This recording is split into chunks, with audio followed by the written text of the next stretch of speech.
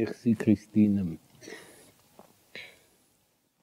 Donc, vous aurez été averti que vous alliez rencontrer quelqu'un qui, répondrait à vos questions. Me voici donc. Je suis celui qui a réponse à tout. Euh, statutairement. Je suis là pour ça. Enfin, tout c'est beaucoup quand même. C'est trop. Même si par principe, rien de ce qui est humain euh, ne devrait être étranger à un psychanalyste. Enfin, par exemple, je me disais, si vous me posez des questions de calcul mental, euh, je déclare forfait tout de suite. Euh, ou euh, si vous me demandez de réciter par cœur des vers, même de poètes que j'aime, je n'ai rien de ce personnage qu'on voit dans les 39 marches de Hitchcock, vous savez, Mr. Memory, qui, se souvient de tout je réponds aux questions, mais pas comme Mister Memory. Euh, les réponses que j'ai l'habitude de procurer sont des, sont des improvisations. Euh, vous me donnez une note musicale avec une question, et puis j'essaye de trouver euh, la note euh, qui répond, et ça fait un petit air. Euh, en jazz, ça s'appelle une jam session. Euh, et j'ai déjà, je m'en suis aperçu une fois et j'adopte ce, ce terme. Euh, donc nous allons essayer de faire une jam session, mais au fond pour commencer, il y a une question que moi, je me suis posée ce matin dans l'avion, et qui était tout de même, et qu'est-ce que je viens faire exactement ici? Euh, Sur la scène d'un théâtre, qui n'est pas... Euh, non pas que je ne sois pas monté sur, la scène d'un théâtre, mais ça remonte à, très longtemps, enfin, euh, à la classe de... Oui, quand j'étais en huitième, suis j'ai joué une pièce de théâtre, je l'ai même montée. Euh, quand j'étais en, sixième, j'ai monté une pièce de théâtre. Euh, j'ai monté quelques scènes du Jules César de Shakespeare et je m'étais distribué le rôle de Brutus. Euh, mais qu'est-ce que, pourquoi est-ce que je, je, suis là dans le programme à faire celui qui a réponse à tout, au moins à propos de la psychanalyse?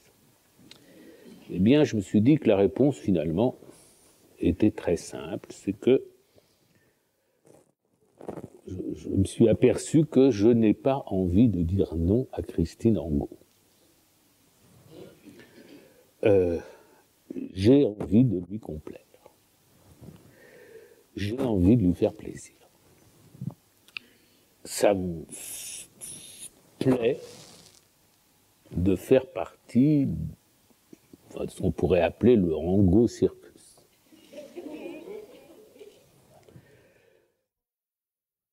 Et finalement, j'ai fait confiance à cette envie que j'avais, euh, qui est sans doute l'envie qu'elle met à la bonne.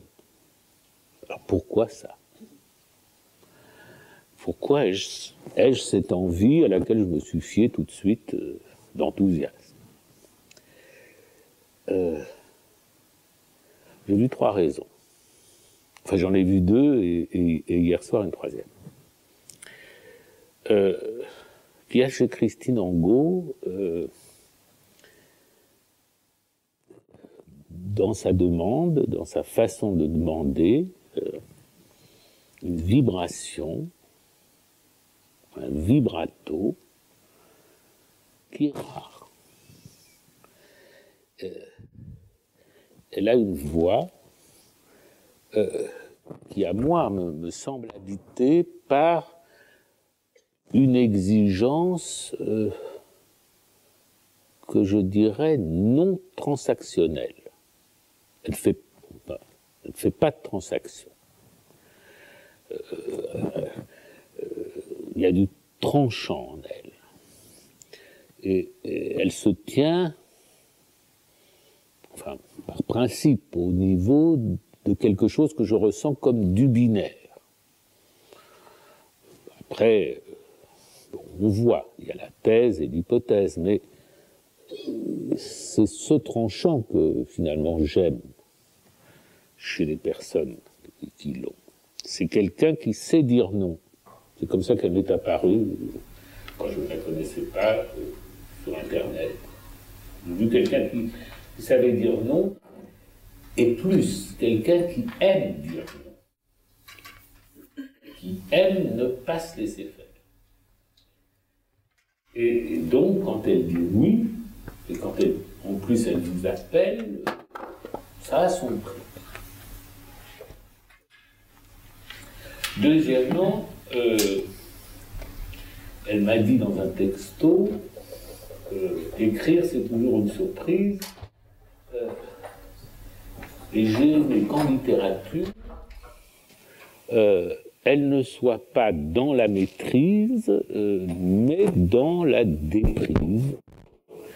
et non parce qu'elle serait sous, la dépendance d'une inspiration, mais parce qu'elle est ouverte aux aléas de la trouvaille. D'une certaine façon, je suis une de ces trouvailles.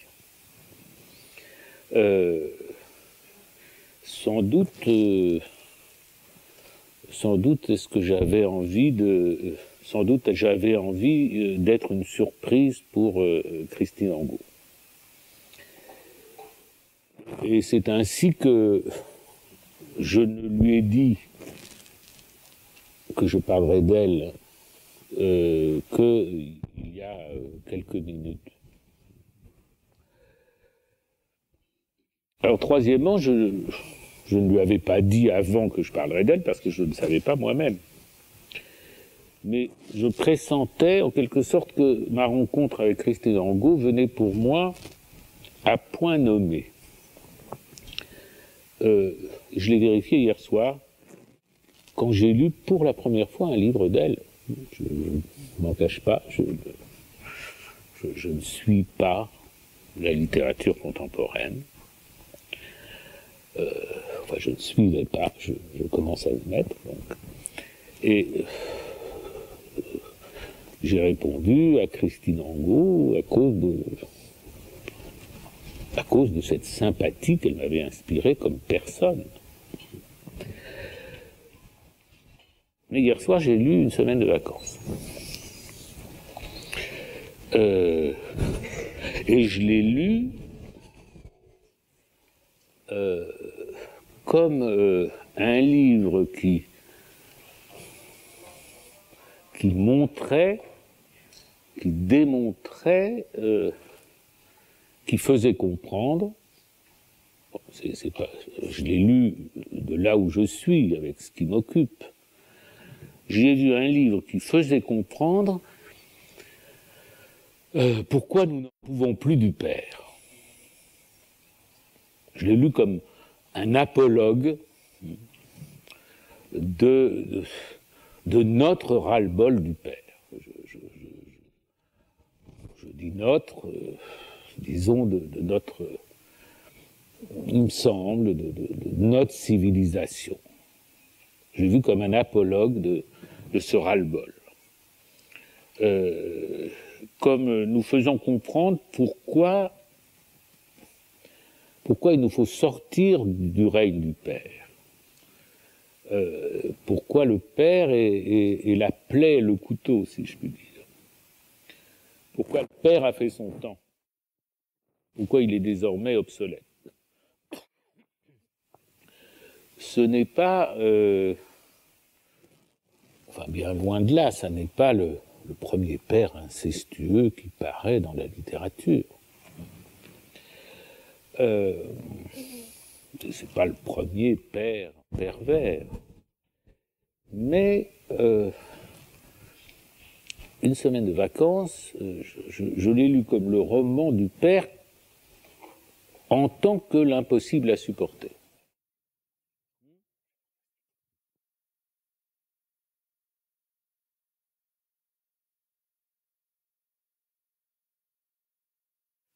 Euh, le roman du père comme l'impossible à supporter.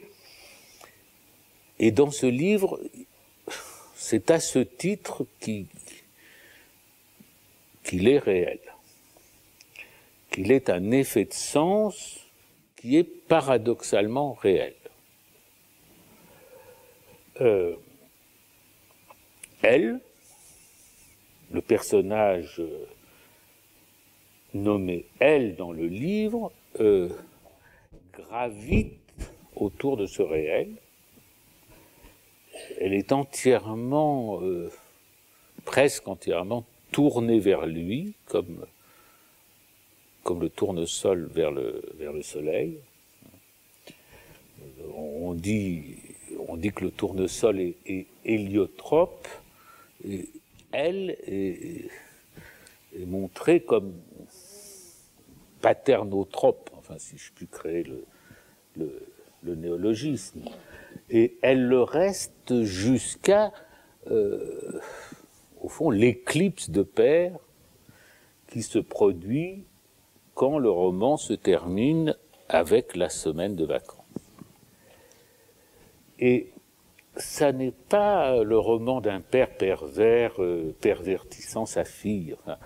c'est le roman de ce que Lacan appelait la perversion, en mettant un tiret entre le mot père et le mot version. Euh, c'est comme ça que je le lis. Hein. C'est mon angle. C'est enfin mon l'angle qui s'est imposé à moi en, lisant ce livre. Euh, euh, c'est-à-dire le roman de, la version vers le père, de la pente qui nous dirige vers le Père, euh, le tropisme qui nous met sous la férule du Père, euh, et qui là est euh, le phallus érigé du Père.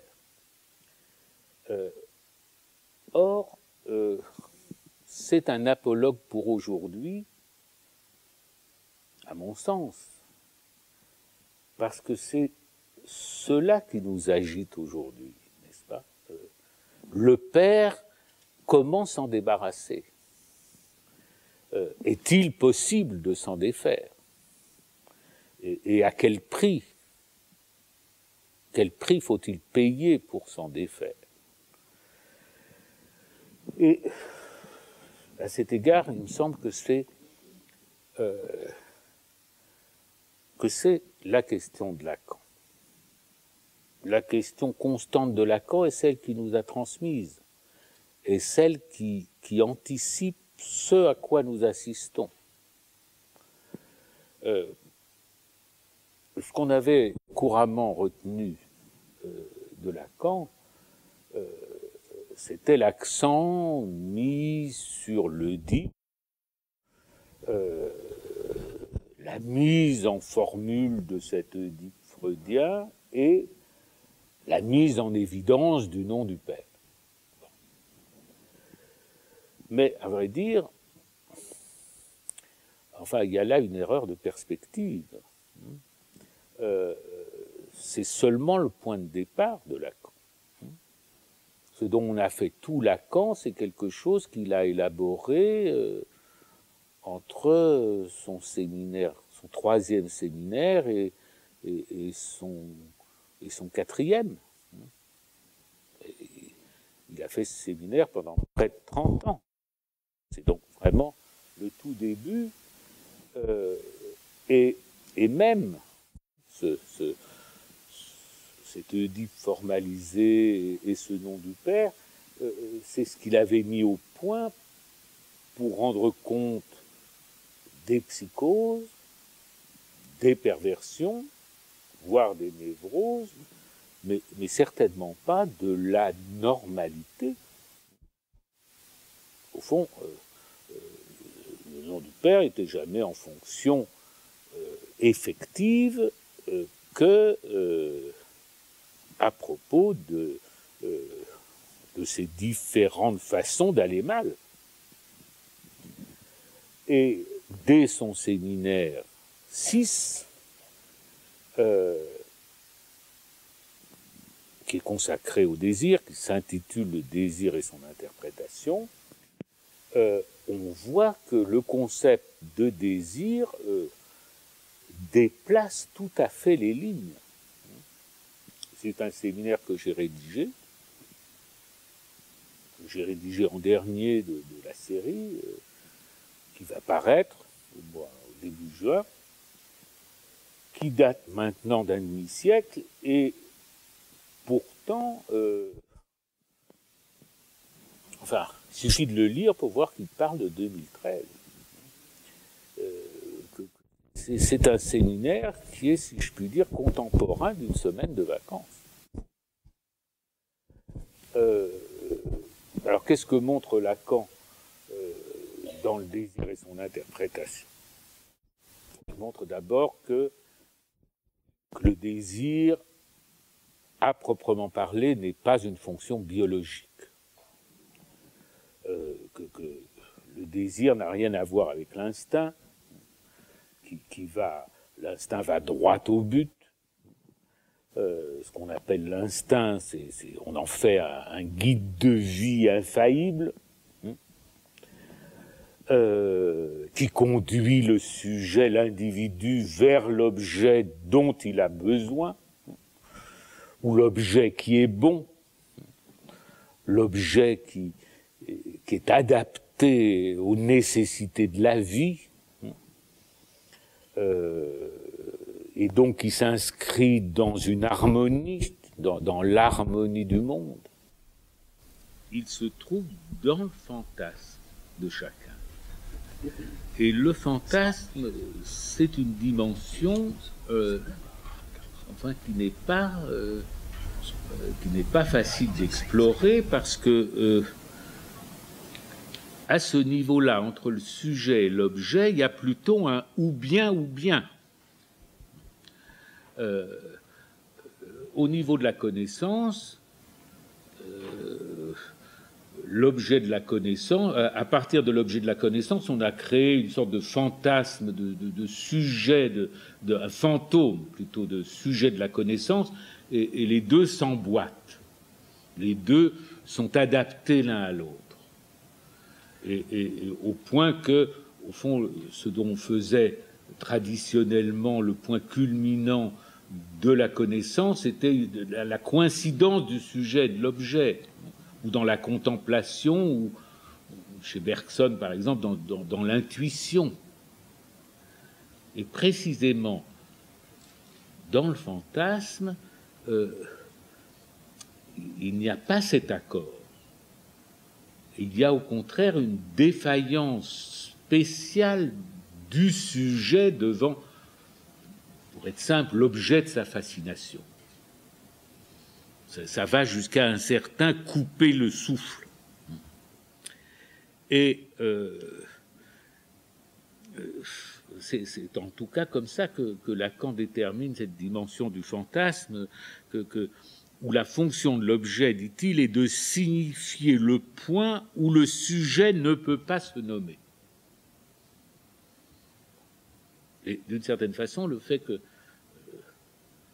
dans une semaine de vacances, euh, précisément, euh, les, personnages ne soient pas nommés, qu'ils ne soient que des pronoms, nous donne une image au moins de, de, ce, que Lacan nous dit là.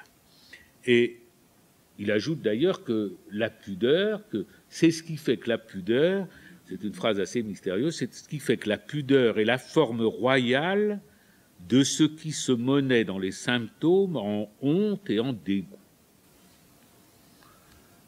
Alors, il parle de la pudeur comme d'une voix. En fait, la pudeur, c'est une barrière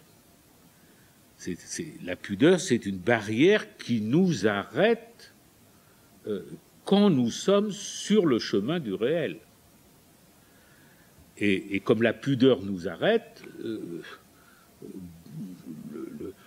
le, réel donne lieu à symptômes, et dans ces symptômes, ces symptômes sont environnés, sont soutenus d'affects, de, honte et de dégoût. Euh, et précisément, euh, une semaine de vacances, c'est clair, va au-delà de, la barrière de la pudeur, brise la barrière de la pudeur, c'est ce qui peut faire scandale, ou ce qui a fait aussi l'admiration hein, euh, commune, moins dans la presse. Et, là, on, passe au-delà euh, de la pudeur et on, s'avance dans la zone qui est d'habitude euh, traitée seulement par euh, le symptôme, la honte et le dégoût. Et alors, du fait que le désir est,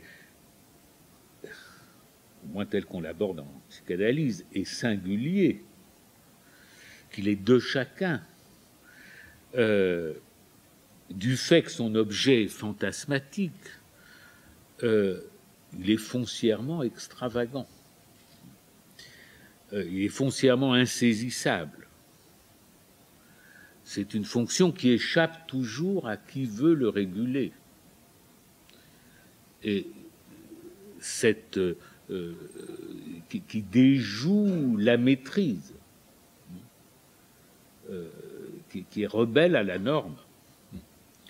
Alors, ça fait toute la gaieté de l'inconscient qu'on trouve chez Freud, euh, puisqu'il a été capable, la psychopathologie de la vie quotidienne, c'est une suite, au fond, d'événements qui sont le plus souvent distrayants, amusants, comme les lapsus, euh, les, faux pas, les actes manqués, euh, ces, errances et ces extravagances du désir nourrissent euh, une, littérature, au fond, qui a fait école. On s'amuse lorsque lorsqu'il y a un lapsus de micro, si je puis dire, l'acte manqué dans c'est quel du régisseur, hein, excusez-moi. c'est distrayant. Et en même temps, regarde qu'elle est sur le visage du euh, conférencier, s'il pâlit, euh, perd le fil de son discours, etc. Ça, c'est ce qu'il y a d'amusant dans euh, les extravagances du désir. mais si le désir n'est pas reconnu, il devient aussitôt un bourreau. Le petit lutin devient un bourreau. il vous fait souffrir, il fabrique du symptôme.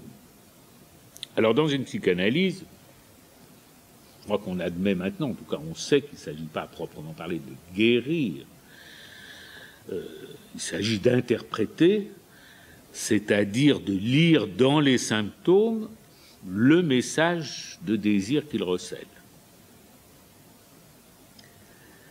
Euh, et le désir euh, se présente, en tout cas ça surgit dans une analyse essentiellement comme une question. Le désir surgit sous la forme quel est mon désir. Mais cette incertitude sur la vérité de son désir, c'est caractéristique des névrosés. Et il trouve dans l'analyse parfaitement à se loger. Euh, en revanche, la question est tout à fait secondaire pour le pervers dans la mesure où ce qui l'intéresse, c'est sa jouissance la différence, c'est que la jouissance, elle, elle est pour chacun fixe. Et c'est ainsi hein, que, pour moi, euh, euh, l'apologue d'une semaine de vacances euh, fait écho à, cette clinique, sur, le plan littéraire. C'est pas un pur décalque, c'est l'usage que j'en fais. Enfin, ça guide aussi cette exploration littéraire. C'est, en effet, d'une certaine façon, celui qu'on appelle il dans, le livre, euh, enfin, il est le désir, H-A-I-T. Euh, ce qui l'occupe, euh, c'est la jouissance, et on le voit, on, le voit à ce qui provoque son éclipse de la fin. Parce que, que lui amène elle? Elle lui amène un rêve. Elle lui raconte un rêve. Si on suit Freud, le rêve, c'est la réalisation d'un désir. Elle lui amène euh, quelque chose qui est euh, un message de désir à décrypter. Et euh, aussitôt, son humeur change, euh, il ne veut pas en entendre parler, et, c'est la colère, c'est le mutisme, c'est le rejet. Hein. Euh, quand, euh, sous la forme du rêve, c'est le désir qui apparaît, hein, et, qui vient gâcher, au fond, la fixité de cette jouissance qui revient comme une mélopée ce livre court, mais qui revient comme une mélopée insistante, enfin comme euh, qui évoque un peu le euh, comme le boléro de Ravel, enfin cette, cette litanie du nom des, des maîtresses et de leur et, de leur qualité physique ou de leurs défauts, etc. Euh, et, et, qui incarne la fonction de la répétition que explore par ailleurs dans un autre registre euh, Camille Laurence, euh, euh, peut-être on en entendra parler demain, mais qui explore à sa façon les, pouvoirs de la répétition. Et donc, ici, le, clivage entre désir et jouissance est, est, rendu palpable et sensible dans, une semaine de vacances. Alors, euh, en effet, la, jouissance donne une, boussole infaillible à celui qui néglige le désir. Le désir, en revanche, déroute, parce qu'il est labyrinthique, il égare. Et c'est pourquoi, euh, enfin, c'est pourquoi le désir suscite l'invention de boussoles, d'artifices divers qui servent de boussole. En tout cas, c'est comme ça que je vois les choses. Et déjà, euh, dans ce séminaire du désir, enfin, euh, au fond, il s'éclaire aussi si on le pense à la lumière de la thèse de Lacan bien plus tardive, il n'y a pas de rapport sexuel. Euh, parce qu'une espèce animale, dans les espèces animales, il y a rapport sexuel, au sens où il y a un programme déterminé pour euh, l'accouplement, la reproduction et euh, aidé par le plaisir. Donc une espèce animale a sa boussole, et, qui est unique. Euh, alors, sur les marges, on signale quelques aberrations, etc., mais qui n'invalident pas cette proposition centrale. Euh, dans l'espèce humaine, on est forcé de constater que les boussoles sont multiples, euh, qu'elles sont concurrentes et qu'elles sont évolutives, et qu'elles ne sont pas instituées par la nature. On peut nous répéter 36 fois euh, que, pour faire un être humain, il faut une ovule et un spermatozoïde, mais il n'empêche que la façon d'ordonner les modes d'ordonner euh, la façon dont un sexe se rapporte à l'autre ou au même euh, sont extrêmement divers. Ce n'est pas nous qui sommes des relativistes, hein. c'est l'humanité qui est relativiste. Et, il y a donc ce qui supplée à l'absence d'une boussole naturelle, ce sont des artifices, des montages signifiants, ce que Lacan a appelé plus tard des discours, des discours qui vous disent ce qu'il faut faire, c'est-à-dire comment il faut penser, comment il faut jouir, comment il faut se reproduire. on peut, il y a différentes durées. Parmi ces discours, il y en a de très grande ampleur, de très longue durée, c'est ce qu'on appelle les civilisations ou les religions, en effet, qui, couvrent des millénaires. Euh, ce sont aussi des discours qui organisent euh, la cité, qui organisent ses productions, euh, et tout ceci est, donc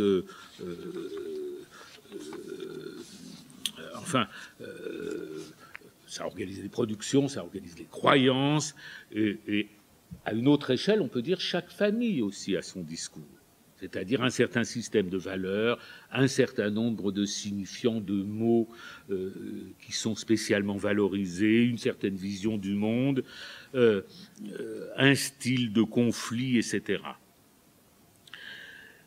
Et cependant, le fantasme de chacun demeure irréductible aux idéaux. Euh, ça, euh, on l'approche dans la psychanalyse. Euh, on peut être dans la cité une féministe parfaitement authentique, et puis sur le divan confesser qu'on jouit en pensant être battu et violé. Ça ne fait pas une contradiction c'est deux niveaux de, deux niveaux de l'être. Et, le caractère irréductible du fantasme par rapport à l'idéal, euh, il faut bien dire, c'est, l'expérience analytique se soutient euh, de ça. Hein. Et euh, alors, le père, dans, le père tel qu'il figure dans une semaine de vacances, au fond, il essaye, enfin, il, manifeste euh, sa volonté de transmettre un idéal. Euh, et euh, au fond, il, joue le surmoi. ne serait-ce que dans la forme qui est capitale, bien sûr, il ne faut pas dire, il faut dire.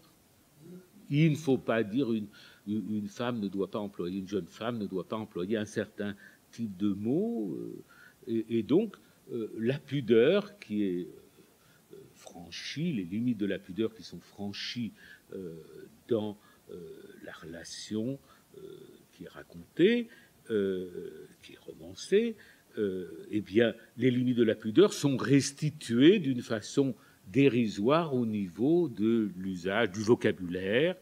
Et donc, nous avons un père professeur euh, qui fait la leçon, euh, qui fait la leçon à la fois de bien dire et de perversion.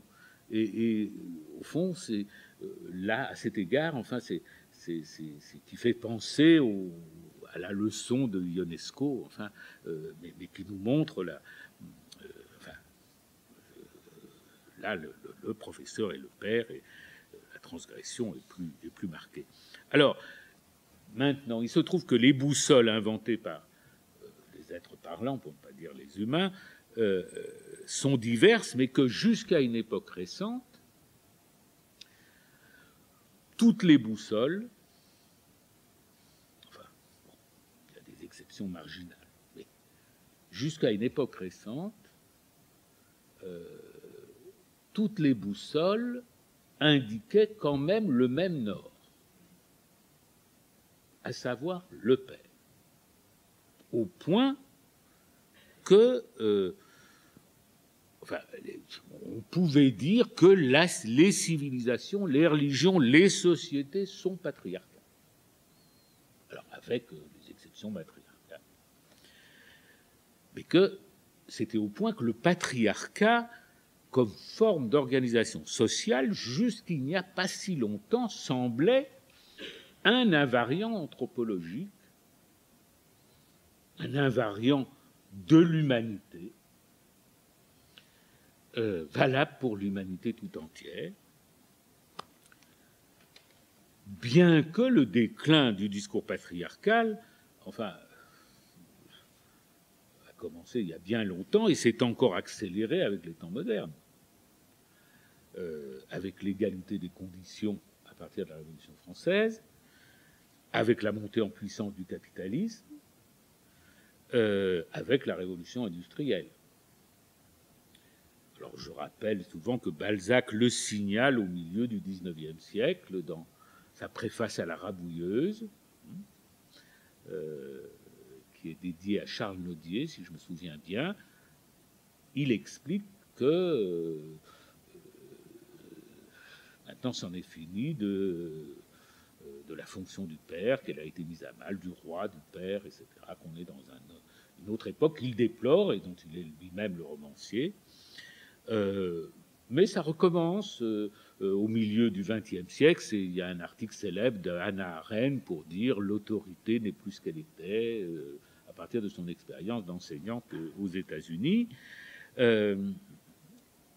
constatant que l'autorité n'est plus une voie qui satisfait l'humanité spécialement l'autorité patriarcale, masculine, patriarcale. D'une certaine façon, De Gaulle lui-même, euh, qui a été une incarnation glorieuse, autoritaire, euh, euh, lui-même, au fond, il a voulu inaugurer la participation. On n'a jamais très bien su ce que c'était, mais si je voulais ça ressemble un peu à. De Gaulle, c'était quand même, avec sa participation, c'est un peu le père d'une semaine de vacances. C'était du genre, je, euh, enfin, dit à la classe ouvrière, je te baise et tu aimes ça. Bon, c'est un goût douteux, d'accord. Euh, bref, je, pense que nous vivons, c'est ce que nous disions avec Christiane Alberti au déjeuner, nous vivons une époque formidable parce que nous, nous sommes en phase de sortie de l'âge du Père. Et sans doute nous sommes en phase de sortie de l'âge du Père depuis très longtemps, mais maintenant nous le savons. Maintenant nous ne pouvons plus le méconnaître. Et euh, s'il y a un livre qui m'a donné le sentiment de connoter de la façon la, euh, la plus vive, la plus stridente, euh, enfin la plus perçante, ce moment de cette phase de sortie de l'âge du père, c'est une semaine de vacances. Je l'ai lu comme ça, sur ce fond-là, que, comme l'emblème de, ce que nous sommes euh, euh, en train de vivre surtransposé. Il y a beaucoup d'autres angles qu'on peut prendre sur l'ouvrage, mais je, dis le mien d'hier. Et euh, il y a un autre discours qui est en voie de supplanter le discours unique de jadis. Et ça ne se fait pas sans déchirement. Disons que c'est l'innovation à la place de la tradition. C'est l'attrait de l'avenir là où le poids du passé euh, enchaînait. Plutôt que la hiérarchie, c'est le réseau, on s'en est déjà aperçu il y a une dizaine d'années. Et c'est aussi le féminin prenant le pas sur le viril. On ne conserve plus un ordre dans ses limites immuables, on s'inscrit dans des flux transformationnels qui repoussent leurs limites. Et alors, pour la psychanalyse, c'est un enjeu parce que Freud est de l'âge du père. Freud même a fait beaucoup pour sauver le père. Et, Lacan l'a signalé, euh, euh, il a signalé que l'Église finirait par s'en apercevoir. on a pu le voir ces temps-ci où euh, Freud, qui avait été accueilli au départ par le Vatican, repoussé, critiqué, euh, eh bien, est devenu au contraire, enfin, a, été mis à la base du discours hostile au, mariage pour tous. On a vu un, renversement, euh, mais enfin qui était inscrit déjà dans, qu'on pouvait, en tout cas que Lacan avait prévu. Et Lacan, s'il a suivi fidèlement la voie frayée par Freud dans l'expérience, elle l'a conduit ailleurs. Elle l'a conduit à poser que le père est un symptôme. C'est ce qu'il a fini par formuler à la fin de sa vie, mais c'est déjà présent quand il introduit le concept du désir. Il montre que le désir du père, le désir pour le père, est se laisse interpréter en termes de perversion. Et pour ceux qui connaissent ce séminaire par des lectures sur des éditions pirates euh, ayant circulé, c'est pour ça que Lacan, dans ce séminaire, consacre sept leçons à l'Hamlet de Shakespeare. Parce que euh, le prince Hamlet, dans, Shakespeare, est mis au pied du mur par le fantôme du père, et au fond, c'est la parole du père qui le rend malade. Hamlet, et, c'est le fils rendu malade par la parole du père. Rendu fou, même. C'est-à-dire que la parole du père est son symptôme. Et au fond, dans la pièce, le désir de Hamlet, qui est d'abord captif du père, finit par s'en émanciper, mais c'est au prix de la mort. Et euh, enfin, pour moi, c'est comme une sorte de miracle. Enfin, que, au moment où je suis entre les premières et les deuxièmes épreuves de ce séminaire, euh, là que, m'arrive euh, arrive à ma connaissance, à ma lecture, une semaine de vacances qui, au fond, qui réactualise, euh, je voudrais dire qui réactualise lettre de Shakespeare. Enfin, là, c'est le père et la fille. Et, là aussi, on assiste à la façon dont le désir d'elle euh, s'émancipe hein, euh, à la faveur de cette ce, mutisme et de, la colère et du mutisme du père, et au fond trouve assez mystérieusement cette, euh, comme objet, euh, c'est la dernière phrase, n'est-ce pas, le, euh, elle parle à son sac de voyage. Dans la gare où elle ne connaît, où rien ne lui est familier, elle ne trouve le familier, le Heimlich freudien, tout lui est un Heimlich, et le seul Heimlich, le seul familier, peut-être la seule famille qui lui reste, c'est euh, son sac de voyage, et, comme dit la, dernière phrase, et elle lui parle. Et, au fond, euh, euh, pour moi, ça fait écho, enfin, je, n'ai pas fini de déplier ça, je suis encore à, y penser, mais enfin, il y, a là un objet, un objet petit-a, comme disait Lacan, d'un type spécial, et, qui est finalement son, support, son adresse, et, au fond, c'est peut-être son sac de voyage qui va lui, lui interpréter son rêve. En tout cas, voilà les questions que je me poserai quand je ferai une deuxième lecture. Alors, euh, oui, ça fait déjà un petit bout de temps. Euh, je vais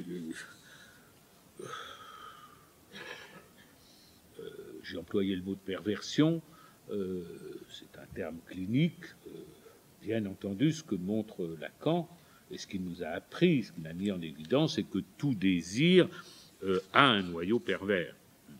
Le terme de perversion chez Lacan, c'est pas fait pour favoriser la ségrégation, c'est au contraire pour indiquer que, tout désir a ce biais, connaît ce biais.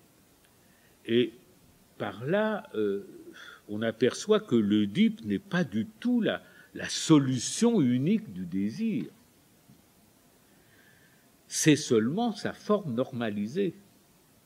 Il a été jusqu'à présent sa forme normalisée et sa prison.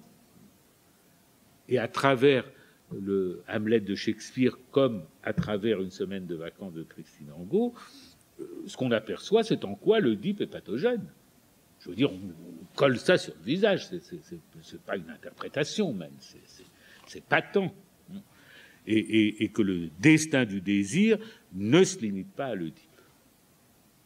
Alors, on, a reproché à Lacan un moment d'être homophobe, des inventions extravagantes. Il est certain qu'il avait un vocabulaire d'époque, mais enfin, vous lirez le dernier chapitre de, euh, du désir et son interprétation, vous y lirez un éloge de la perversion. Un éloge de la perversion euh, que Lacan conçoit euh, comme traduisant une rébellion contre l'identification conformiste qui assure le maintien de la routine sociale.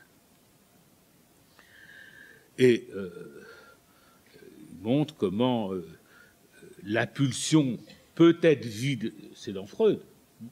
Dans Freud, il y a que la sublimation, les activités culturelles peuvent satisfaire la pulsion aussi bien que euh, la jouissance de l'objet.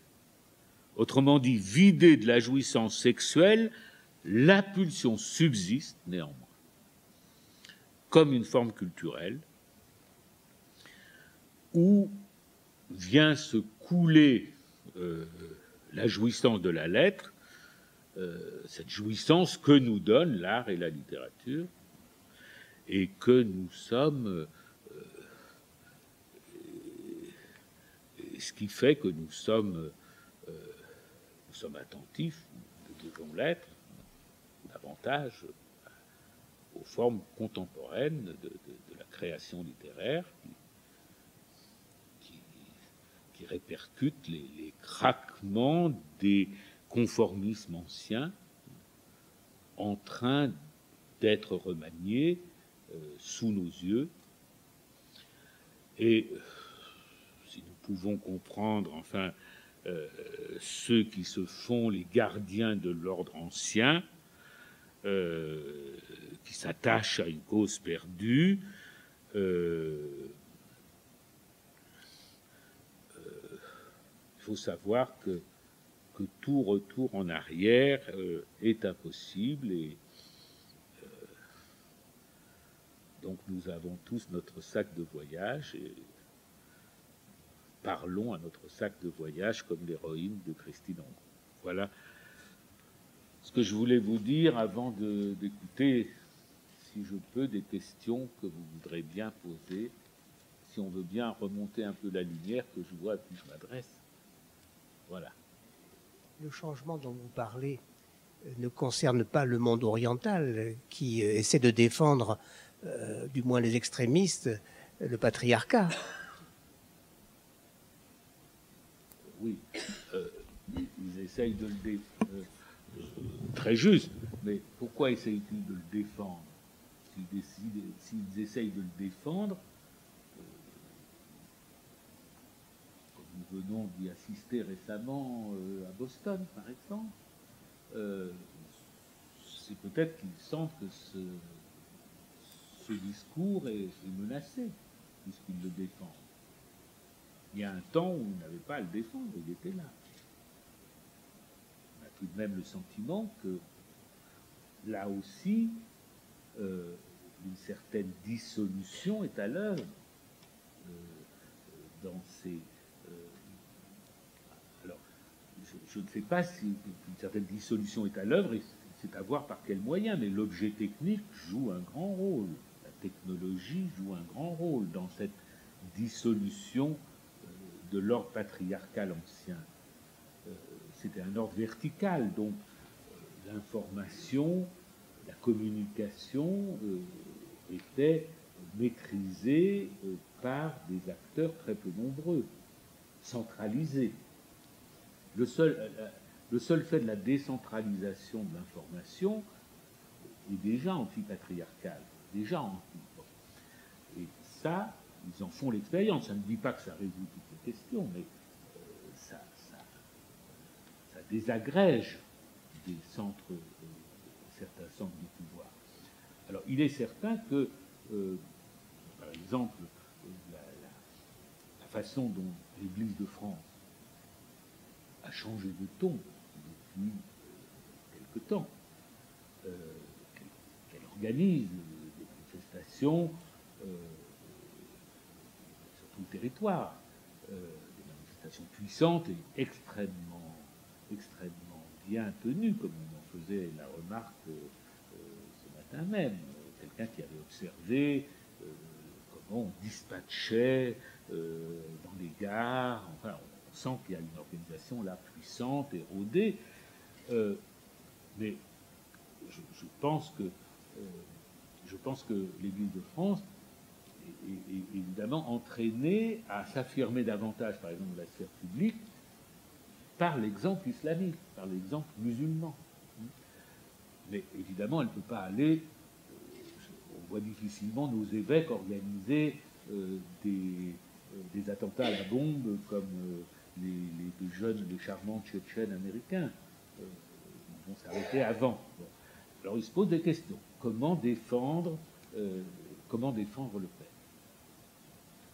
Mais ils ont d'autres ressources. Nous avons déjà la Vierge Marie qui attend, euh, qui, est dans la coulisse. Enfin, elle n'est pas dans la coulisse, elle est. Euh, je, pense qu'il y a, par exemple, dans le catholicisme, des ressources qui permettront parfaitement de s'adapter au, temps nouveau. Et, et qu'il suffira d'opérer un petit déplacement pour être euh, que, le destin du, catholicisme n'est pas forcément euh, lié au patriarcat. Bon. Oui, oui. Enfin, votre inquiétude, votre idée était euh, le catholicisme peut, peut résister puisque l'islam résiste. Mais je crois qu'il vaut mieux découpler le sort de l'un et de l'autre et que le catholicisme a des ressources de dialectique et d'aggiornamento que euh, l'islam n'a pas. C'est un hommage que je rends à, cette, la grande institution de l'Église catholique.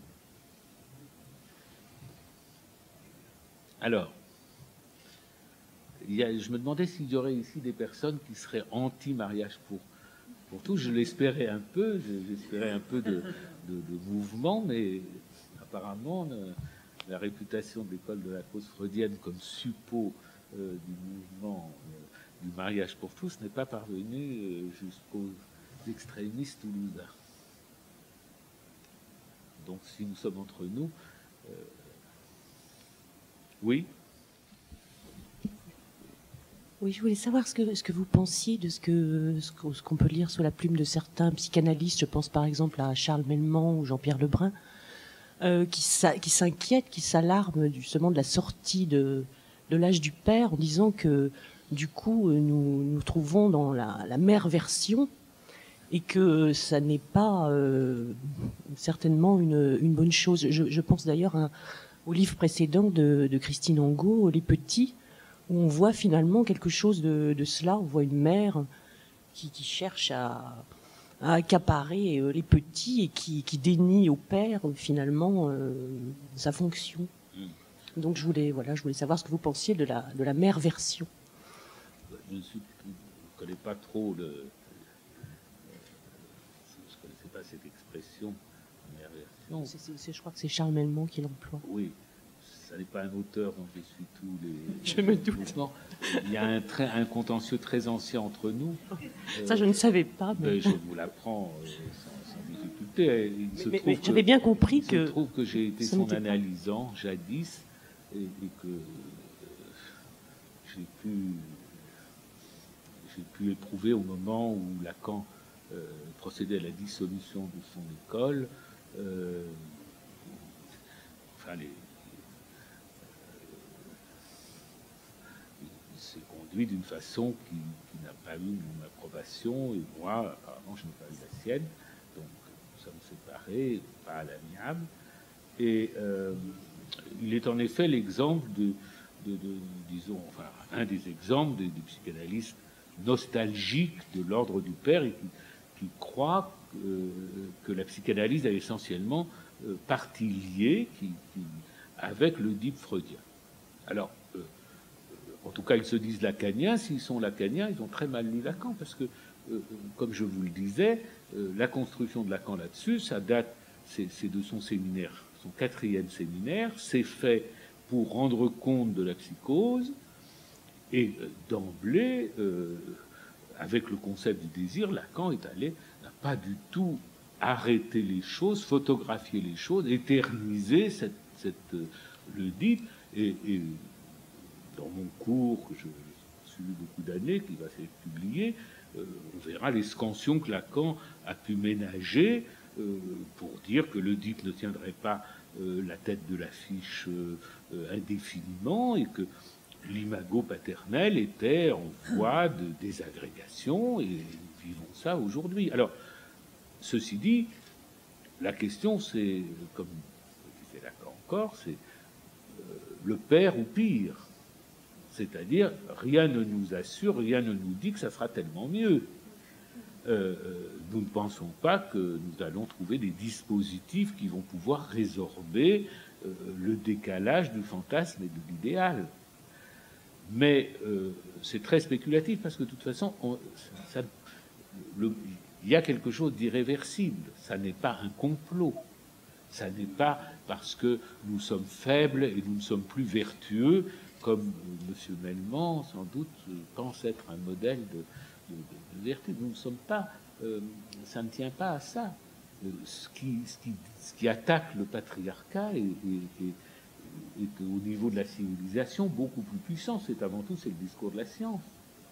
C'est un discours euh, qui dissout les concrétions hiérarchiques qui, et, qui est animé, qui, n'est pas animé par, l'idée de euh, euh, que vous connaissez l'idée finaliste que nous connaissons le bien et que nous allons euh, protéger les populations pour les, pour, les diriger vers ce bien.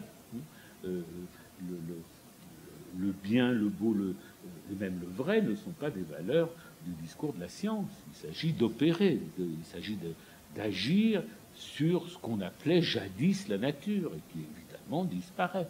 Bon, alors euh, les vagissements euh, sur le thème c'était mieux avant et que alors on n'insiste plus que sur euh, lorsqu'on lit ces auteurs on croit que on, est à l'envers de ce que, de ce que montre Lacan, à savoir le caractère pathogène de l'ordre patriarcal vrai que c'est la paix, euh, euh, euh, la paix règne. Et, bon, je crois que, enfin, nous nous inscrivons en tout cas, un certain nombre de psychanalystes, nous n'étions pas portés à nous engager dans l'affaire, par exemple, du mariage. Ce sont au contraire les nostalgiques qui se sont mis en avant pour expliquer que la psychanalyse et ce que Freud disait du père et le dit, tout ça venait à l'appui euh, du mariage pour tous, euh, à l'appui de leur opposition au mariage pour tous. Euh, et donc, il y a eu une alliance passée entre certains psychanalystes et des religieux. Nous avons laissé faire pendant un certain temps jusqu'à ce que, en tout cas pour moi, ça devienne impossible à supporter de se taire. Et et de dire que si on a, si, les analystes ont à dire quelque chose, ça n'est certainement pas dans le sens de d'arrêter l'histoire à, un ordre patriarcal qui, se défait, sans que pour autant euh, nous ayons à promettre le bonheur pour, euh, pour demain.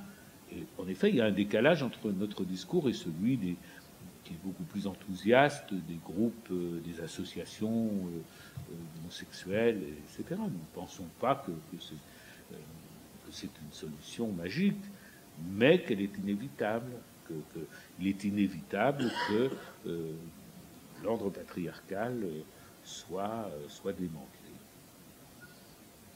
L'expression que vous avez employée, le père, un effet de sens paradoxalement réel. Je ne suis pas sûr de bien comprendre l'ensemble l'expression. Euh, Vous aviez le père, un effet de sens paradoxalement réel. Euh, c'était à propos de, la figure du père. Oui. oui. oui. Euh, c'est sûr, ça suppose l'idée que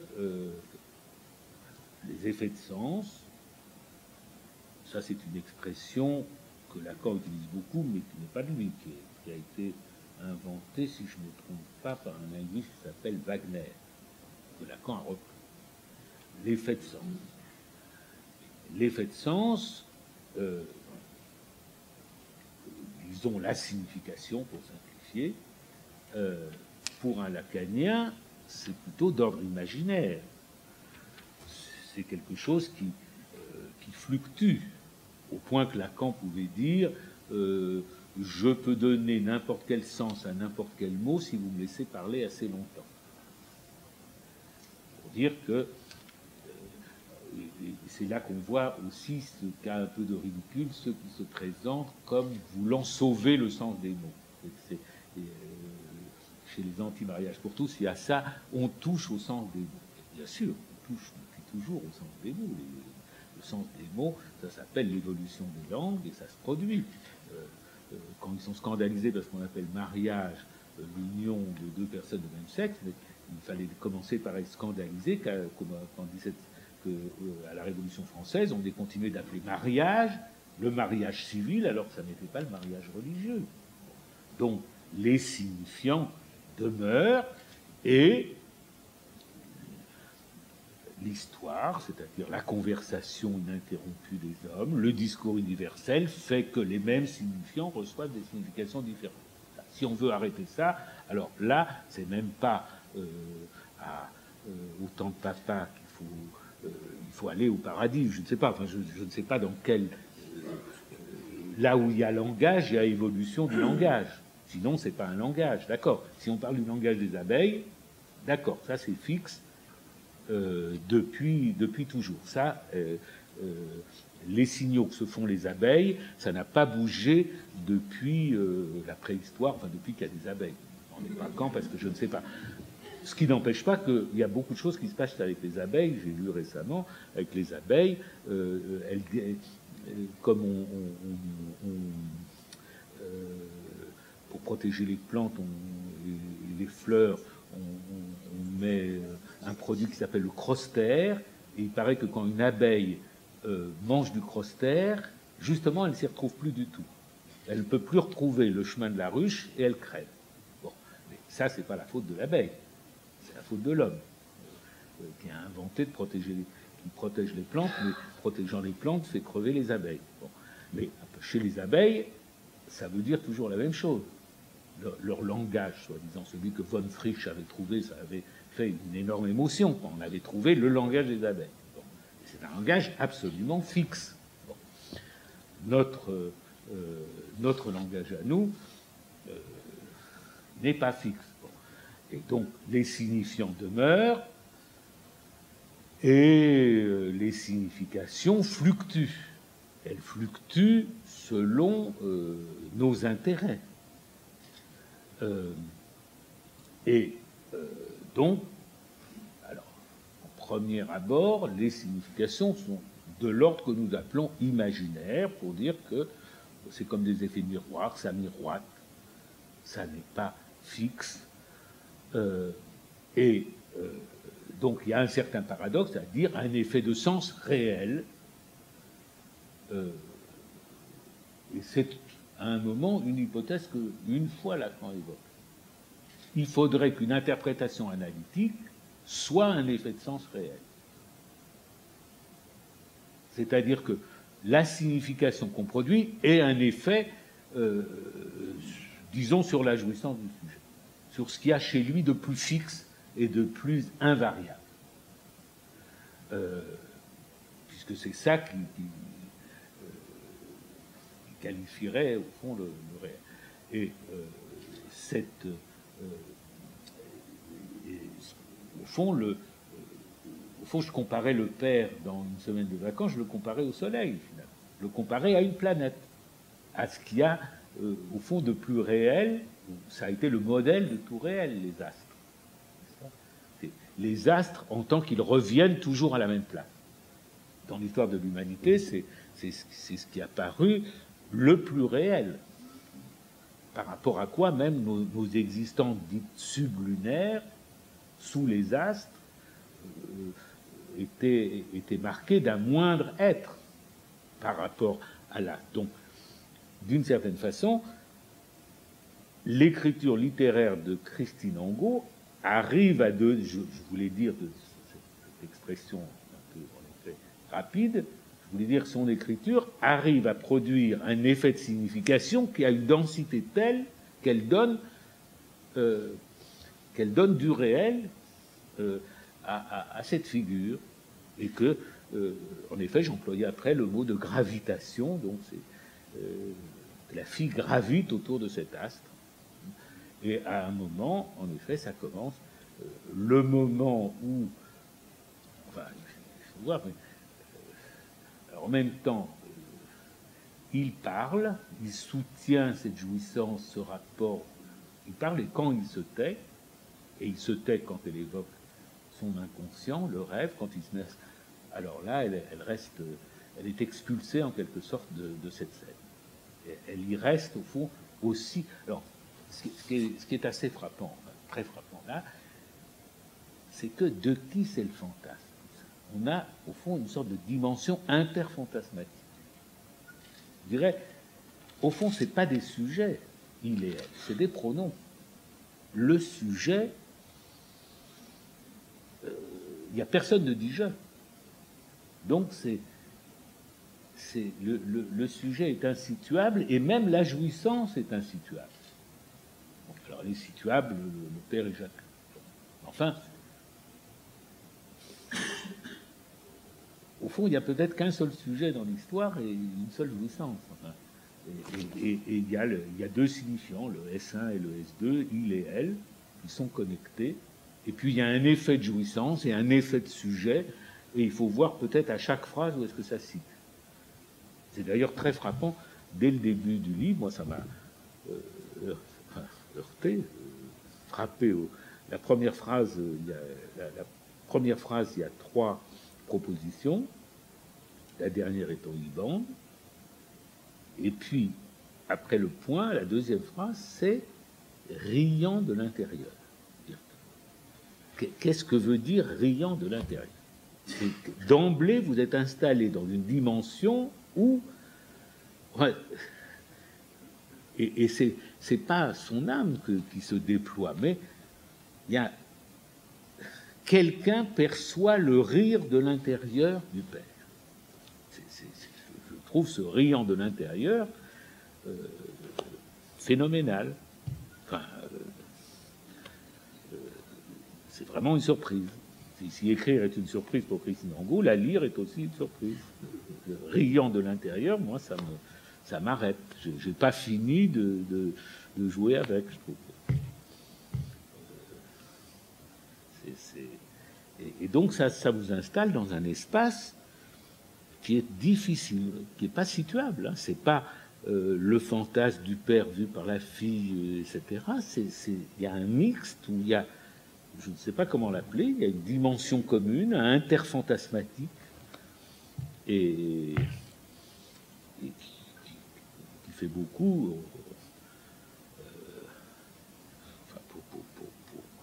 pour ce qui est de cette lecture, finalement, c'est un livre court aussi pour qu'on lise du début jusqu'à la fin. Il y a quelque chose où il ne faut pas arrêter. Enfin, c'est d'un seul mouvement qu'on court d'un bout à l'autre. comme ça, je l'ai lu. Oui? Oui, je, je, me demandais euh, au fond qu'est-ce que vous pourriez nous dire sur les conséquences de ce que vous avez énoncé concernant euh, le père, à la fois pour la pratique de, l'analyse et peut-être aussi pour la présence de l'analyste dans, dans, le, dans, le monde, enfin, dans, la, façon dont il se présente, par exemple comme vous aujourd'hui, euh, auprès d'un public. Quelles sont les conséquences de ça? Qu'est-ce que ça change au fond? Il y a beaucoup d'éléments de notre civilisation qui datent euh, de l'âge du père, euh, au point que rêvait de transformer les théâtres, pour, je sais qu'il y ait des happenings, qu'il n'y ait pas des acteurs séparés des, spectateurs, en considérant que déjà la séparation des deux, avec la hiérarchie visible, même si ça a été un peu abaissé, voyons comment ça a abaissé un peu la scène, après ça sera... Mais il y avait l'idée, en effet, qu'il fallait remanier ce qui reste du père dans, le théâtre. On est travaillé par ça. Ceci dit, euh, il y a des beaux restes. Il y a des très beaux restes de, c'est loin d'être, c'est loin d'avoir disparu. par exemple, la starification du pape à peine nommé. Et tout de suite, tout le monde lui trouve toutes les qualités du monde. Dans le monde entier. Si vous voulez, il y a le type, ils ne connaissent pas, personne n'a entendu parler de lui à part les Argentins, bon, et pas toujours en bien en plus. Euh, euh, et puis il devient pape, et d'un bout à l'autre de la planète, ça devient euh, le modèle, le gentil, celui qui va nous. Et, le pape des pauvres, alors que le Vatican est dans des histoires d'argent depuis 30 ans, ils n'arrivent pas à s'en sortir. Je ne sais pas comment ils font. Il y, avait le type qui était pendu sous un pont, ça avait commencé avec la, loge P2. il y avait le, banquier, s'était pendu sous un pont. Enfin, il s'était pendu tout seul, ou on l'avait aidé, on ne sait pas. Ça fait 30 ans que ça dure. Euh, avec euh, un cardinal, un autre, il les remplace et ça empire, on dirait tout le temps. Mais il dit Je suis le pape des pauvres et tout le monde applaudit. Parce que, en effet, il y a un passé, parce qu'il y a Saint François d'Assise, etc. Et, ça marche. Et en effet, moi-même, je me dis Bon, euh, c'est sûr que quand il était provincial des Jésuites en Argentine, il n'a pas l'air d'avoir été brillant, mais Maintenant, c'est un pape, c'est nouveau, etc. Et je suis pris aussi. Et, enfin, plus ou moins. Mais euh, je veux dire, regardez, alors après, mais je veux dire, la figure du Père, l'idée qu'il y a quelqu'un qui a un souci bienveillant de l'humanité et tout, on aime le croire. C'est comme c'est décrit par Freud, c'est-à-dire on aime croire ça, c'est le, personnage anaclitique. Comme, euh, c'est comme ça qu'on a traduit Freud, c'est-à-dire le personnage qui prend soin de vous et qui est essentiellement la mère, euh, classiquement était la mère dans l'enfance. Ça a donné donc Winnicott, la mère suffisamment bonne, etc. Euh, peut-être la mère excessive qui s'approprie ses enfants. Et, et, la mère est le secret de cette figure du père, là le souci, euh, le souci bienveillant. Euh, et il y a d'ailleurs dans le père de, euh, il y a une sorte de, il rayonne de bienveillance. C'est un père, et c'est ça la dérision du père est aussi là, c'est qu'on présente un père qui veut, qui par certains côtés veut le bien de sa fille, il veut euh, il veut qu'elle jouisse, il veut qu'elle sache jouir, il veut qu'elle sache choisir ses partenaires à l'avenir, elle saura désormais reconnaître ceux qu'il aime vraiment comme son papa ou les méchants. C'est irrésistible. On euh, c'est, le père de la pastorale euh, est aussi présent chez cet abuseur. je trouve que comme c'est une enfin, un roman qui est l'apologue du moment que nous vivons, tel que moi je le, perçois, tel que je perçois ce moment, comme un moment quand même d'une phase de transition euh, hors de l'âge du père. Ça dure depuis longtemps, c'est en marche depuis, depuis longtemps, mais euh, maintenant le pas est de plus en plus pressé et, il y a justement les tambours de la guerre et même de la guerre civile. De l'autre côté, on nous annonce et le sang va couler, c'est la guerre civile. On, voit les, des personnes, euh, des personnes excellentes qui disent ça, comme Brigitte Barjot, mais même il y avait des, cardinaux qui, qui, perdaient un peu la boule. Euh, c'est très amusant à voir. Enfin. oui. ah. Juste une toute petite chose euh, pour, pour apporter une précision par rapport à la question qui a été posée sur euh, le mot mariage, par exemple, qui changerait de sens, etc. Et pour euh, conforter euh, ce, que, ce que vous avez dit, dans le livre, en effet, il est gardien du sens des mots depuis l'origine. Et chaque fois que ce sens bouge, chaque fois que ce sens est pris par des incultes ou par des modernistes d'une façon nouvelle, tout de suite, il, redresse le, tout de suite, il revient vers le sens de l'origine. Et même quand vous avez dit le pape des pauvres, euh, je crois que c'est aussi parce que les gens croient au sens des mots. Hmm. Et donc, euh, donc euh, sans se poser la question de ce qu'il y a dans le sens des mots Donc forcément, on peut y croire très facilement.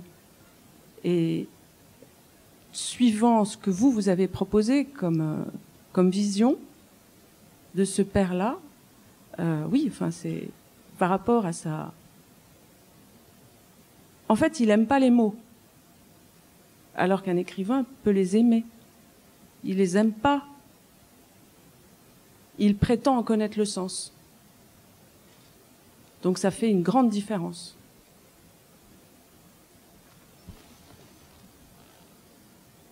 Je, voudrais poser une question très très légère concernant Frigide Bardot. Pourquoi, choisir comme égérie d'un mouvement comme le mouvement anti-mariage gay quelqu'un tout de même qui s'est illustré dans un registre bien différent? Ah mais ça c'est le génie. Ça c'est le génie de l'Église. Ah, ça, ça, au contraire, là je, salue le savoir-faire. C'est-à-dire, euh, à la fois l'Église est gardienne d'une sagesse euh, euh, qui a deux, 2000 ans derrière elle, plus, puisqu'elle est appuyée sur Aristote, revu, revu par saint Thomas d'Aquin et relancé au XXe siècle par Léon XIII. Donc c'est c'est majestueux, c'est puissant, c'est l'organisation, c'est le monde vu à partir de son harmonie, la préservation de son harmonie. Euh, mais en même temps, euh, l'Église a compris les auteurs modernes, il faut être de son temps. Donc le pape est sur Twitter. Donc euh, on, on ne prend pas une grenouille de bénitier, comme on disait jadis peu respectueusement. On ne prend pas une grenouille de bénitier pour euh, comme égérie, on prend euh, l'évaporé en mini-jupe et en talons euh, de 20 cm, et elle, elle fait fonction de, et elle entraîne, et on ne peut pas dire que c'est ringard, on ne peut pas dire que c'est le passé, plus cool tu meurs.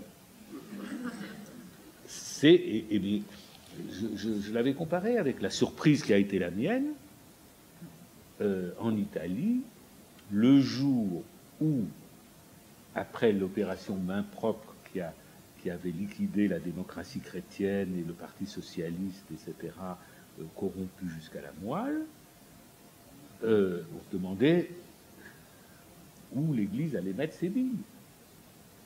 Et à l'époque, j'étais en Italie avec un collègue, psychanalyste, très bien introduit au Vatican.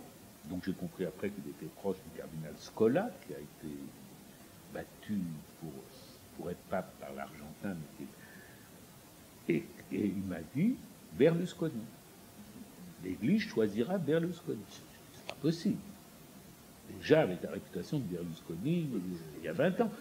Pas du tout. L'Église a soutenu jusqu'au bout Berlusconi et le Berlusconi euh, des orgies, le Berlusconi du, c'est pas bling bling, bonga bonga. Bon. Eh bien, l'Église l'a soutenu et le soutient encore, qui est au regard increvable de Berlusconi. C'est, à côté de ça, euh, Brigitte Barjot, c'est une sainte. Non, non, mais c'est un talent. C'est des Italiens qui font cette politique il y a une intelligence spéciale, une, ouverture d'esprit que vous n'avez pas. Ce sont des princes de l'Église qui ne sont pas arrêtés par des préjugés petits bourgeois du genre euh, les idées de l'Église doivent être défendues par des parangons de vertu. Où est-ce que vous avez vu ça? Ça, c'est vrai pour euh, le pro Parti socialiste qui voudrait avoir des gens vertueux, mais c'est des idées robespierristes, c'est pas des idées ecclésiastique. Non, ça, me paraît très de génie d'avoir Philippe Barlow. D'ailleurs, j'ai été invité au Forum de Libération à Rennes, et il m'avait d'abord proposé, il m'avait dit d'abord, ça serait. Euh, il était question que ce soit Brigitte Barjot avec moi. J'ai dit, mais assurez-la que je ne dirai pas un mot contre elle et tout. J'aurais été ravi de connaître Brigitte Bardot, mais elle n'a pas voulu. Et donc j'ai eu à la place Rémi Brague, normalien, philosophe, et, membre de l'Académie des sciences morales et politiques, et, je vous assure, il était beaucoup moins drôle il ne faisait pas le poids, tandis qu'elle, euh, elle, c'était quelqu'un. Elle, c'est quelqu'un. D'ailleurs, vous avez vu avec quelle élégance elle, s'est laissée un peu emporter. Vous avez vu avec quelle élégance elle a reculé. Elle est bien conseillée. Elle a fait un pas trop. Elle a su faire euh, reculer. Elle a même demandé au ministre de l'Intérieur qu'on arrête tous, ces gens qui salissent son mouvement. Ça, on peut être sûr qu'elle est bien conseillée.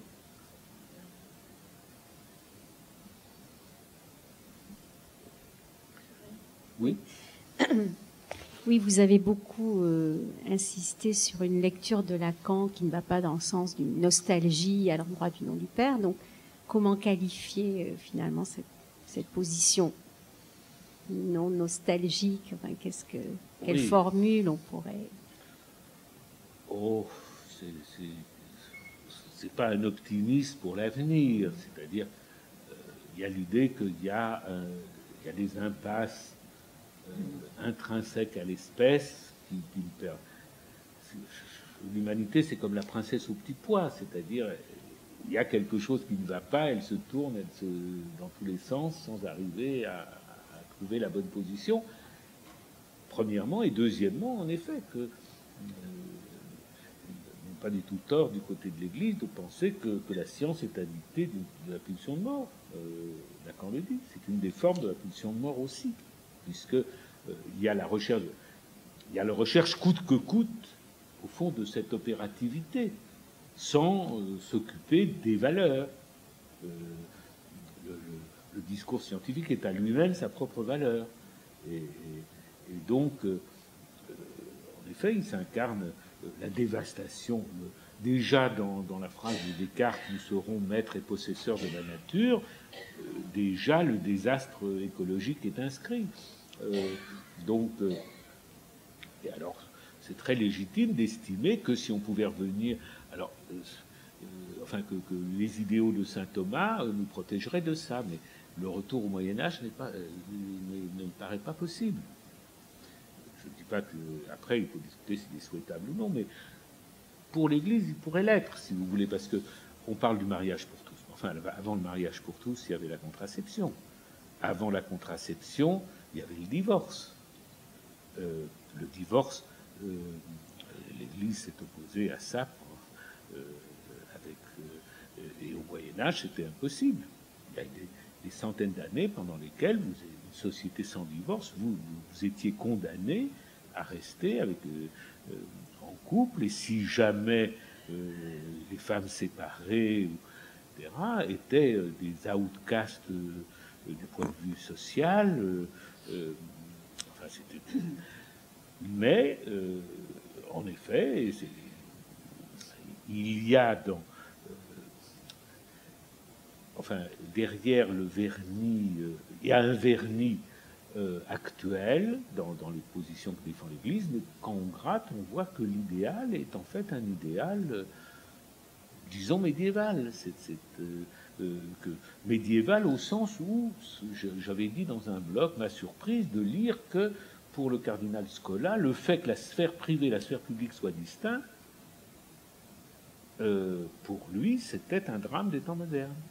Et que donc ce que Hobbes au XVIIe siècle, Locke et Kant au XVIIIe siècle avaient euh, posé, était regrettable. Donc c'est pas seulement la Révolution française, c'est en deçà. Et que euh, et donc j'en étais à dire finalement le, ce qui s'est rapproché le plus de ce modèle au XXe siècle, c'est le régime de Salazar au Portugal. C'est évidemment, il ne le propose pas, euh, euh, propose pas en tant que tel, mais quand on regarde les textes de près, c'est le cas. Alors, cela dit, donc cette voie me paraît impraticable, sinon comme un idéal dont on sait qu'il ne, sera pas réalisé. Euh, notre position n'est pas optimiste. Euh, pense simplement qu'il euh, vaut mieux accompagner le mouvement pour le modérer plutôt que de s'y opposer en vain. Euh, par exemple, pour le, euh, on s'inquiète de, la gestation pour autrui et tout ça, mais le commerce d'enfants bat son plein dans le monde. Bat son plein depuis dix ans dans, dans le monde. Et plus. Et je citais un livre américain d'un professeur de la Harvard Business School euh, qui s'appelle The Baby Business de 2005, qui, donne des chiffres étonnants. Donc, où on ferme les yeux devant ça, où on admet que c'est une réalité, que on a vendu des êtres humains depuis qu'il y a des êtres humains. On les, on les a vendus comme esclaves, on les a vendus comme population, on, a tranché dans les empires et on s'est passé des provinces euh, en veux-tu, en voilà. Ça fait partie de la condition humaine. Donc plutôt que de tomber dans les pommes, ouvrons les yeux, voyons que ça a lieu, il vaut mieux le reconnaître pour arriver à le réguler. C'est mon, c'est mon sentiment. Alors comment appeler ça? Je, chercherai un nom. Euh, c'est un réalisme qui n'est pas poétique, euh, euh, c'est une forme de... oui, c'est une forme de réalisme qu'il faudrait arriver à, qualifier. disons, fermer les yeux, refouler, dénier, ça ne peut pas être une attitude analytique. Donc, il faut ouvrir les yeux, il euh, faut admettre. Euh, le soupir ne sert à rien, les soupirs à l'avènement. Justement, Lacan avait intitulé un de ses séminaires Ou pire en disant Je laisse à d'autres de soupirer. Mais ça parle de ça, c'est-à-dire de soupirer après le père. La question, c'est ça sera peut-être, c'est ou pire. Le père ou pire, point d'interrogation. Mais euh, même si c'est pire, euh, c'est pas pour ça qu'on peut l'éviter. Donc qu'est-ce qu'on fait dans le pire euh, On essaye de le tempérer, de le modérer. Et d'ailleurs, tout ça ne vaut que pour des gens d'un certain âge. Avant, on mourait dans la même société où on était né. Et les sociétés ne changeaient qu'extrêmement lentement. À partir du moment où il y a eu la révolution industrielle, Baudelaire a commencé à soupirer que, la forme euh, d'une ville, qu'une ville change plus vite que le cœur d'un mortel. Ça, ça c'est du milieu du 19e siècle. On commence à se rendre compte qu'ils vont mourir dans un autre monde que le monde dans lequel ils sont nés. Et maintenant, ça change trois fois. enfin, euh, Donc, si on veut pleurer, on peut pleurer. On pleure son enfance foncièrement, on, a la nostalgie du monde de son enfance. Alors, moi, je ne l'ai pas. Ni de mon adolescence. Je ne vais pas pleurer la Sorbonne de jadis. Je ne vais pas. Euh, je trouve formidable d'avoir au bout des doigts, en, 0,5 seconde, les informations dont j'ai besoin, les dates, les noms et tout ça. Pour moi, c'est une époque. De ce point de vue-là, c'est une époque merveilleuse. Euh, et en plus, on, vit un champ, enfin, on vit une phase de transition aiguë qui me paraît absolument passionnante et où j'aime tout le monde, les pour, les contre, etc. bien sûr, je suis, pour le mariage pour tous. Je me suis découvert ça hein, au dernier moment parce que je n'engageais pas, mais je les aime bien les autres aussi si vous voulez, qui sont là, avec, euh, ils, défilent dans les rues avec un, papa, une maman, un enfant. On n'a jamais eu besoin de faire ça pendant toute l'histoire de l'humanité. Euh, moi, quand j'étais jeune, on aurait vu des gens comme ça, on les enfermait. Aujourd'hui, on ne les enferme pas parce que justement, on n'a plus besoin d'un un, papa et une maman pour faire un enfant. C'est pour ça que ça devient un slogan. Donc c'est bouleversant d'une certaine façon. Ils sont, ils sont les témoins des siècles. Bon. Donc je, je me moque d'eux, mais je les aime bien aussi. Et je suis tout à fait capable de me moquer des, des, extravagances, des propagandistes du, mariage pour tous aussi, qui pensent que ça, va tout résoudre. Euh, donc je, j'en ai après personne et je trouve passionnant le moment, là, même avec ce qu'il a de tendu, avec cette France qui en, effet a besoin sans doute de muer, va elle devra aller très très mal sans doute avant de réussir à rebondir, puisque de Gaulle disait on fait des réformes en France euh, à la suite d'une révolution. On n'a pas l'air parti pour une révolution. En tout cas, ce n'est pas nos, nos anti-MPP qui vont faire ça. Ils n'ont pas ça en eux. Euh, donc, il faut sans doute que ça aille encore beaucoup plus mal pour qu'il y ait un sursaut. Donc, on va vivre des temps difficiles, euh, tendus, euh, intenses. donc, en tout cas, je suis optimiste pour ce qui est de, des jouissances intellectuelles à venir. si je. On va peut-être arrêter là parce qu'il est 9h moins quart et on va avoir la suite du spectacle. Donc, euh, arrêtons et on se retrouve.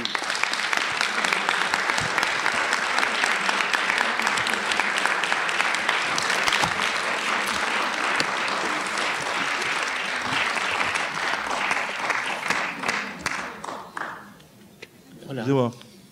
De foot avec 22 dopés, il doit être plus intéressant qu'un match de foot avec 22 personnes. Non? Oui. C'est à venir aussi. Pourquoi, pourquoi On se- être offusqué par euh, Comment? des gens qui sont dopés dans le sport ou qui. euh, Oui. Ça doit être plus intéressant un match de foot avec 22 dopés. Je- je- ça Avec doit être- 22 personnes dopées, je- 22 joueurs dopés. Oui. Pourquoi pas, oui. Merci beaucoup en tout cas.